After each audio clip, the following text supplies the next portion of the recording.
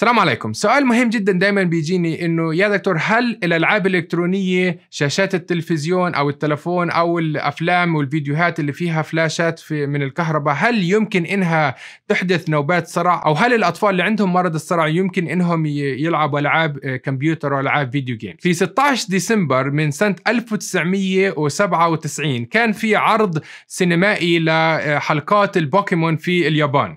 وفي هاي الحلقة كان في بيكاتشو بهاجم على صاروخ وبيفقع الصاروخ وبيعطي آه، شرارات كهربائية. بيكا بيكا تعرفوا كيف البوكيمون وبيكاتشو؟ فهو يعطي الشحنات الكهربائية عشان يوقف الصاروخ.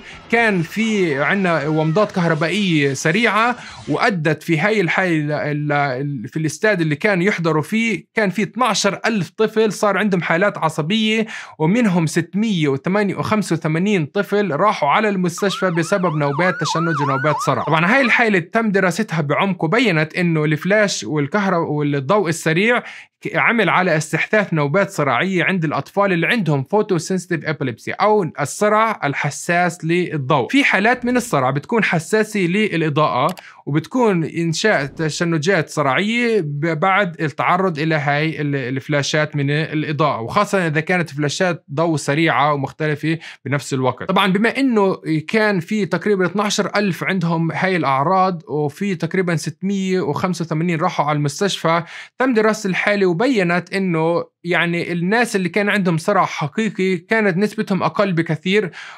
وطبعا كان التفسير الحالي هو يمكن كان في رد فعل نفسي عند الأطفال لما شافوا الآخرين مرضوا هم كمان مرضوا صار عندهم أعراض وهذا إشي بسموه الهستيريا العامة يعني الماس هستيريا. يعني الفلاشات السريعة والأجهزة الإلكترونية يمكن إنها تحث على وجود النوبات الصرعيه وتعمل نوبات صرعيه عند حالات نادرة من الأطفال اللي عندهم الصرع العام واللي بيكون حساس للإضاءة في معظم الحالات عند الأطفال وعند كبار السن اللي عندهم صرع ما بيأثر عليهم آه، رؤية الإلكترونيات أو الشاشات أو الأفلام أو حتى الفلاشات السريعة وما بتعمل عندهم تشنجات صرعية ولكن اللي بصير إنه إذا كان الطفل أو الشخص أو إذا لعب في الألعاب الكمبيوتر بشكل طويل وما نام وتعب جسديا وعقليا يمكن هذا التعب وعدم النوم وإذا حتى ما أخذ الأدوية على وقتها الصحيح هذا يمكن يؤدي إلى نوبات صرع وتشنجات. يعني مش الإلكترونيات بحد ذاتها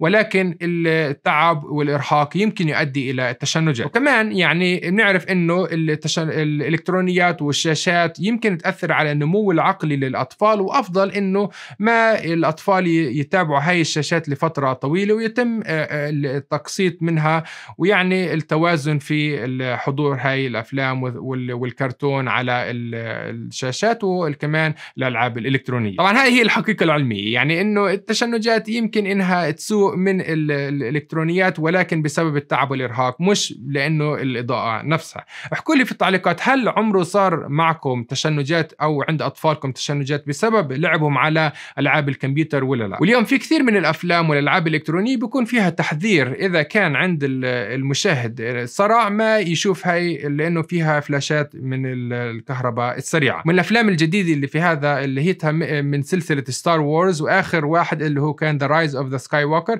كان في تحذير عن إذا كان في حدا عنده نوبات. صرع لأنه كان في معارك بتصير وفيها كثير من الفلاشات اللي صارت. عشان هيك يمكن يكون في الصرع آه، يكون يستحث من هذه الإضاءات. طبعا يمكن التشنجات الصرعيه تظهر على الجسم وعلى الإنسان بأشكال مختلفة حسب المنطقة المنطقة اللي في الدماغ المسؤولة عن آه، إنشاء نوبة الصرع. وعشان تعرف عن كل أنواع التشنجات الصرعية وكيف آه، مرض الصرع يمكن إنه يصير يمكن تشوف هذا الفيديو.